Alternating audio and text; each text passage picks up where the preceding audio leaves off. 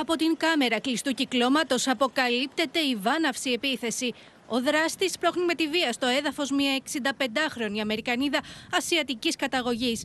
Την κλωτσά στο κεφάλι, ξανά και ξανά. Σύμφωνα με την αστυνομία της Νέας Υόρκης, ο δράστης εκτόξευε ύβρι εναντίον της. Της φώναζε Δεν ανήκεις εδώ. To send a clear message to the people in New York City um, that we take this seriously, to the members of the Asian community, you are not alone. Οι αρχές τώρα αναζητούν τον δράστη ακόμη ενός εγκλήματος μίσους στις Ηνωμένες Πολιτείες. Και ο Δήμαρχος της Νέας Υόρκης απευθύνει έκκληση προς όλους να αναφέρουν αμέσως τέτοια συμβάντα. We can't just stand back and watch a heinous act happening.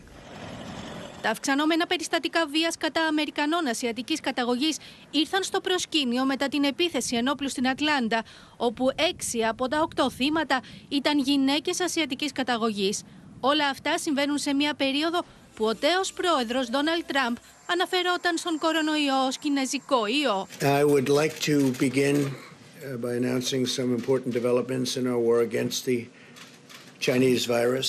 Σχεδόν 3.800 εγκλήματα μίσους κατά Ασιατών καταγράφηκαν από τον Μάρτιο του 2020. We continue to demand justice and mercy for our community. Στη Νέα Υόρκη, οι αρχές επιστρατεύουν αστυνομικούς με πολιτικά και αυξημένη παρουσία τους στις κοινότητες των Ασιατών.